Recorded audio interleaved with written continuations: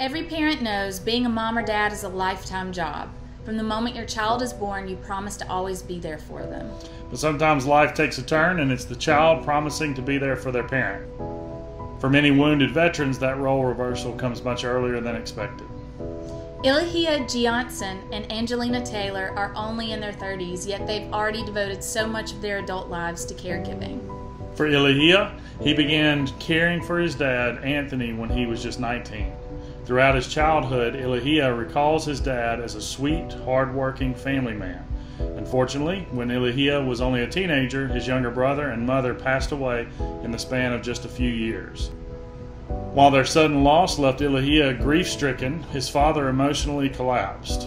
For the Vietnam veteran, the sadness of their passing surfaced long suppressed trauma from his time at war. He became withdrawn, debilitated by anxiety, and found the day to day challenging.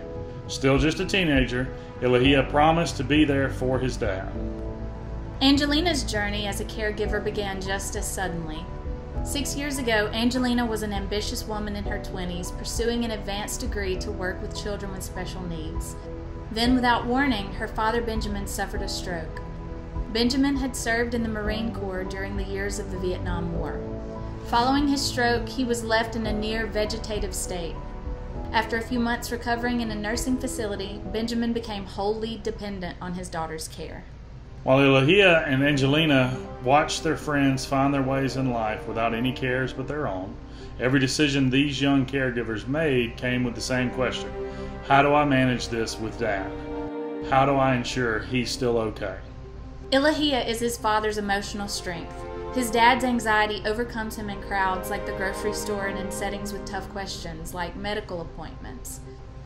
Ilihia has to be his cheerleader just to get him out of the house. Living in Hawaii, Ilihia used to have some success getting his dad out to the beach to go fishing or for long car rides. However, COVID 19 has made lots of his favorite spots risky for now. The pandemic meant the suspension of his group therapy and more time confined at home, where Ilihia's dad often leans on his son to listen to his toughest stories from Vietnam.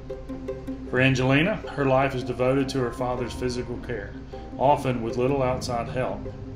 When her dad was released from the nursing home, she asked the staff how to lift her father if he should fall from his chair. They said she was too small to lift her dad, not realizing there wasn't another option. She now sees a chiropractor for back pain.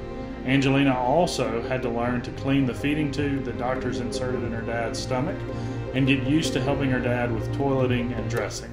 When her dad first moved back home, he rarely slept through the night. Sleepless and exhausted, Angelena fell behind in grad school without much understanding from her professors. Over time, Angelena began to struggle with depression, but she still finds the strength to pursue her dreams, even if it has taken longer than planned. She has earned her master's in education, psychology, and advocates for caregivers through her success participating in pageants. Ilihia, too, has managed to keep his life going. He runs a consulting practice from home and has started a family. Ilihia's dad is now a grandfather and gets a lot of emotional support from his favorite three year old. Angelena, Ilihia, you promised to care for your fathers. Always and forever, we promise to care for you.